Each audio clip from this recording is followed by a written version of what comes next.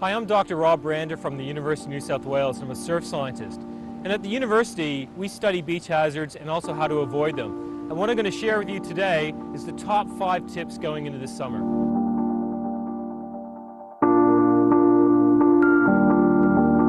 One of the main hazards are waves. Obviously, when you go in the water, you're going to encounter waves. And sometimes waves break quite powerfully by curling over and plunging down on the beach face. And that's called a plunging wave. Plunging waves, or dumpers as we call them, are the leading cause of spinal injuries on our beaches. If you encounter a plunging wave, you have to be very, very careful. You should never body surf them with your arms behind your back. You should always have your arms out in front, so if you go over, you hit your arms and not your head. Another type of breaking wave that you should watch out for is what we call surging waves, or sneaky waves. And these waves don't curl over and plunge, they just sort of bulge up at the shoreline and when they break, they rush up the beach or they surge really fast. And it might not look dangerous, but that surge can easily knock people over. It can knock over little kids, it can knock over older people, and then they can get in all sorts of trouble and start rolling back underneath the wave itself. So you should never turn your back on the ocean and always respect what the waves are doing. Swimming between the red and yellow flags is really, really important. I can't emphasize enough just how important it is because the flags are set up away from the rip currents. And rip currents are by far the biggest hazard that you're ever going to face on a beach. There's about 17,000 rips operating on Australian beaches at any given time, and if you're swimming outside of the flags, so there's a good chance you're going to get caught in one. Well, what are rips? It's a really good question. Rips are strong, narrow currents that flow from the shoreline through the surf zone and offshore. They exist to take all the breaking water that's piling up on the beach back out to sea. The best way to spot a rip is to look for dark gaps. Right behind me, we've got a nice rip that looks like a dark gap, almost like a road or a path going through the surf. Now over here, it's a shallow sandbar, the waves are breaking, all that white water is piling up on the beach, starts flowing along the beach in this deeper channel and then turns the corner and that's your rip. And that's what you look for, dark gaps. It's a pretty scary experience getting stuck in a rip and there's definitely some do's and don'ts about how you should behave if you do find yourself caught in one. The main thing is not to panic. Don't panic because the rip will not pull you under the water. All the rip will do will take you further out to sea and it'll sometimes bring you back. Remember that you've got air in your lungs, you float, you're very buoyant, so don't panic.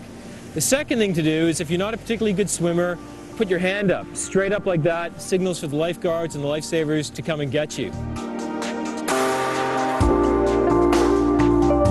One hazard that almost everyone who goes in the water is likely to face is the presence of jellyfish. Now jellyfish come in different forms and not all of them sting you, but some do. Now in Southeast Australia we tend to get what are called blue bottles. So this is typically what a small blue bottle looks like. And the upper part is sort of the bubblegum part, and you can actually touch it. It's quite harmless. But the tentacles that are lying underneath, which can go for quite a ways, that's what stings. That, that's what gets wrapped around your arms and your legs. And you don't want to touch them at all. Even on the beach, if you stand on those tentacles, you can get stung a little bit. So if you see them on the beach, chances are they're in the water, and just pay attention. If you get stung by a blue bottle, there's not much you can do. It's going to hurt a lot for about an hour and a half. The best thing to do is rinse off any remnant tentacles with warm water, and that's about it. Grin and bear it.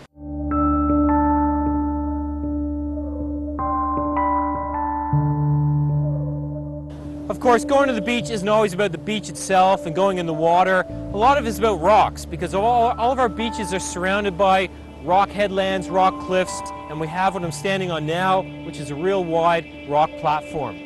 And all of our coastline is surrounded by this, and it's all very accessible, and it can also be very, very dangerous.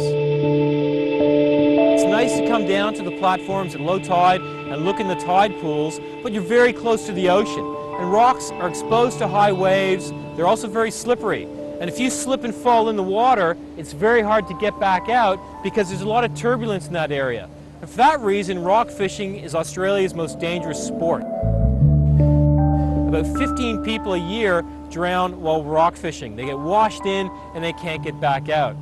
Aside from that, if ever you jump in water or you dive from a, from a high point, you have to make sure you absolutely know what's in the water. If there's any hidden rocks and you hit them, you could be in a lot of trouble, and they don't call it tombstoning for nothing. So we've just covered some of the basic hazards you're likely to encounter, but don't be put off by going to the beach. The beach is a special place. We've got the best beaches in the world. You really need to get out there. All it really takes is a little bit of common sense. Always swim between the red and yellow flags. Always check it out before you go out. And look around and talk to people. Are there any jellyfish in the water? You'll quickly find out. And if you use those rules, you'll have a great time at the beach.